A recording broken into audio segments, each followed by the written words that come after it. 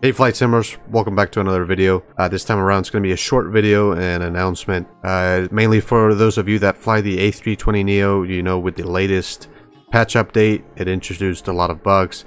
One of them being the engine number one shutdown uh, if you turn off the APU. There's also a, a Mac bug on the MCP area, the autopilot area. If you follow the fly-by-wire uh, community mod for the A320neo, the default one, they have provided a workaround and a fix for these two bugs. So if you go to the, I'll provide the link in the description down below. Once you go to that link, you're gonna be at this page.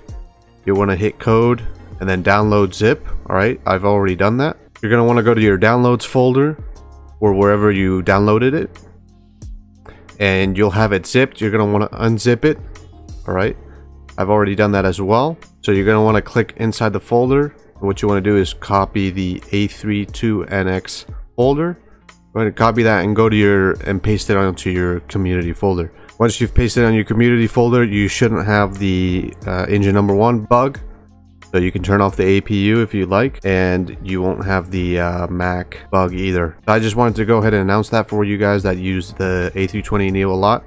That has been corrected now at least. One thing I want to note is that this uh, master branch of the download may have some bugs but uh, for the most part I haven't found any other bugs. So at least it corrects those two errors. Once again I'd like uh, to thank all of you that watched. Remember to subscribe comment like the video and as always thanks for watching. Stay safe. Happy flying. I'll catch you guys in the next video